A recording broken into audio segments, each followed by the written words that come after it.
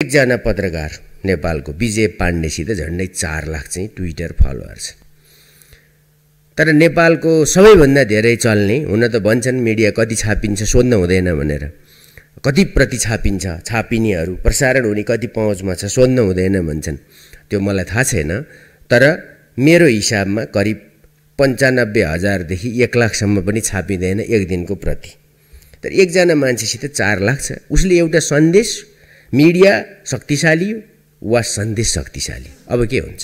त्यसैले मिडियामा चेन्ज आइरहेको छ र यो कहीँ पनि नियमन गर्ने कुरा नै हुँदैन भन्ने कुरा हामीले कुनै अभिव्यक्ति स्वतन्त्रता रोक्दैनौँ। यो बारम्बार भनेका छौँ। तर अराजकता चाहिँ रोक्ने हो। त्यसको बारेमा फेरि यस कुनै अल्मलिनुपर्ने कारण छैन। यति हो प्रश्न। मैले पार्नुपर्ने कुरा। यो कुनै दम्ब होइन। अराजकता जो भए पनि रोक्थ्यो स्वतन्त्रता कोही भए पनि रोक्न सक्दैन। कोही भए पनि रोक्न सक्दैन। यो अरू केही केही काउन्सिलको कुरा पनि यसैमा उठाउनु भएको छ। मैले सार्वजनिक रूपमा पनि भनेको छु। भेटघाटहरूमा पनि भनेको छु। प्रेसलाई अप्ठ्यारो स्वतन्त्रतामाथि अप्ठ्यारो बनाउने कुरा केही पनि हुँदैन। कुनै कुनै अर्डर सडर नमिलेका कुरा हुन्छ तर प्रोसेसबाट हुन्छ नि। सबैभन्दा ठुलो थलो कानुन बनाउने थलो भनेरै यो सार्वभौम संसद हो।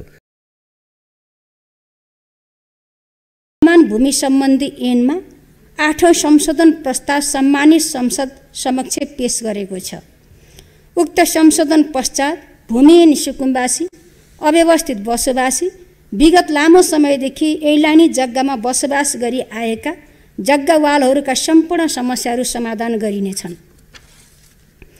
लामो समयदेखि लामो समय अघि मुक्त घोषणा गरिएका कमैया र हलियाहरूको पुनर्स्थापनाको कार्य लगभग सम्पन्न गरिएको छ। केही छिटपुट रूपमा बाँकी रहेका मुक्त कमैया मुक्त हलियाहरूको सम्पूर्ण रूपमा पुनर्स्थापना कार्य सम्पन्न गरी आय आर्जन रोजगारी र जीविकोपार्जनको कार्यलाई प्राथमिक प्राथमिकता दिने गरी आगामी वर्ष कार्यक्रमहरू सञ्चालन हुनेछन्।